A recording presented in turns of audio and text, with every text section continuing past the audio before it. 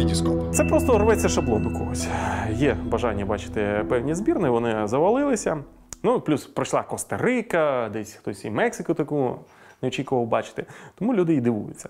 А насправді, чому ж не вважати європейцями голландців, бельгійців, ну і французи, врешті-решт. Теж у нас є збірна Франції, яка в поєдинку проти Нігерії продемонструвала якраз фізичну підготовку. Не стільки вже багато класу, а в фізичній підготовці перевершили нігерійців.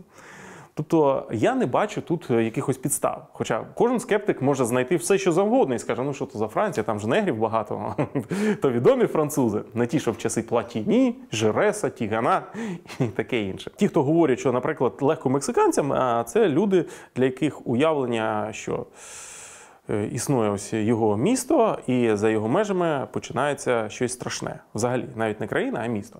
Тому що високогір'я мексиканське, воно ні за кліматом, ні за чим не схоже. Їм дуже важко. І так само, як людині, яка живе на рівні моря. Потрапити на мексиканське високогір'я, те саме Еквадор. Ну тобто складнощі вони є. Дуже не пощастило насправді деяким збірнам, як, наприклад, Італії та Англії після першого матчу, хорошого для обох команд, вони провалилися, тому що я вважаю, перш за все, тому що грали в Манаусі цей перший поєдинок. Це страшне. Після цього ляжуть всі, хоч бразильці, хоч негри, хоч не негри, хоч коней запустив, вони все одно після того будуть ось так ледь-ледь-ледь бігати. Е, Декому не пощастило, е, але були команди, які більш серйозно підготувалися, які вивчали погодні умови, які е, застосовували різні консультаційні групи і.